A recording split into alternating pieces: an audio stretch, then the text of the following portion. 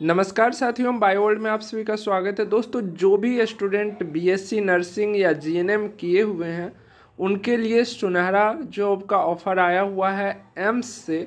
पता है आप लोगों को एम्स कितने बड़ी हॉस्पिटल या कॉलेज बोले तो है इंडिया में। ठीक है टॉप पर वही रहते हैं।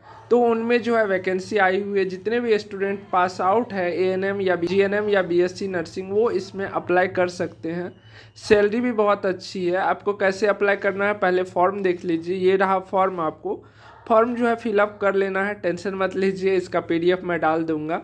ठीक है? तो यहाँ पर जो है पहले अपना नाम, उसके बाद पोस्ट आप किस पोस्ट पर है? नर्स है। या ढेर सारे पोस्ट की वैकेंसी निकली हुई है। बेसिकली हम यहाँ पर नर्स की बात करेंगे। मेडिकल ऑफिसर में जो है जो एम बी बी एस किए हुए वो सारे आ जाएँगे, ठीक है? तो यहाँ पर देखिए एज मेरिट जो शादीशुदा है या नहीं है, वो सारी चीज़ें आप फिलअप कर लीजिएगा। जो मेन यहाँ पर बात आएगी क्वालिफिकेशन की क्वालिफिकेशन के बाद जो है, यहाँ पर आप देख सकते हैं, सबसे नीचे जो है एक्सपीरियंस सर्टिफिकेट आपका मांगा जाएगा कि आप किस पोस्ट पर थे, यानी जीएनएम थे तो आप किस पोस्ट में थे?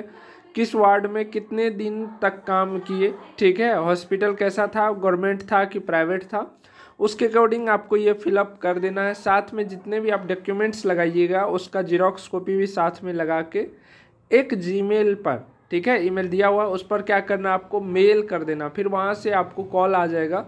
एग्ज़ाम आपको नहीं देना है, इंटरव्यू दे करके डायरेक्ट आपको जॉब मिल जाएगी, ठीक है? तो इंटरव्यू के लिए आपको बुलाया जाएगा।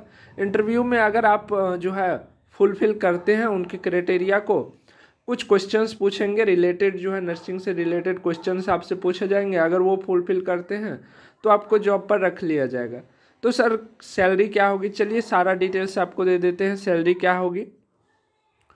तो ये आप देख सकते हैं, एम्स कल्याणी यहाँ पर पढ़ रहे होंगे। सर, कल्याणी क्या है? देखिए, भारतवर्ष में बहुत सारे एम्स, हॉस्पिटल एंड कॉलेज है तो जिस जिस स्पेसिफिक जगह पे है, उनका अलग अलग नाम दे दिया गया। है तो ये कहाँ का है? ये वेस्ट बंगाल में जो एम्स है, उनका नाम है एम्स कल्याणी, ठीक है? तो यहाँ पर आप देख सकते हैं, ढेर सारे पोस्ट निकले हुए हैं। सबसे पहले मेडिकल ऑफिसर, जिसमें जो है एम वाले लोग जाएँगे, सर्जन लोग जो है, वो जाएँगे। उसके बाद जो देख रहे हैं नर्स का A N M G N M B S C nursing तीनों के लिए है। Minimum age twenty one year और मैक्सिमम फोर्टी ईयर सैलरी कितना होगा? तो देख सकते हैं बीस हज़ार पर मंथ होगी। सर कम ही सैलरी नहीं लग रहा है आपको। देखिए, बीस हज़ार तो ये प्योर सैलरी है आपका। उसके बाद ढेर सारी चीज़ें ऐड होती है और जो मिलेगा एग्जैक्ट आपको लगभग पच्चीस हज़ार प्लस मिलेगी। और ये स्टार्टिंग सैलरी है, ये बात याद रखिए। गवर्नमेंट में आप स्टार्टिंग अगर पंद्रह हज़ार से कर रहे हैं तो रिटायरमेंट होते होते मेडिकल फ़ील्ड में हम बेसिकली बात करें तो आपका सत्तर हज़ार, साठ हज़ार पे जाता है।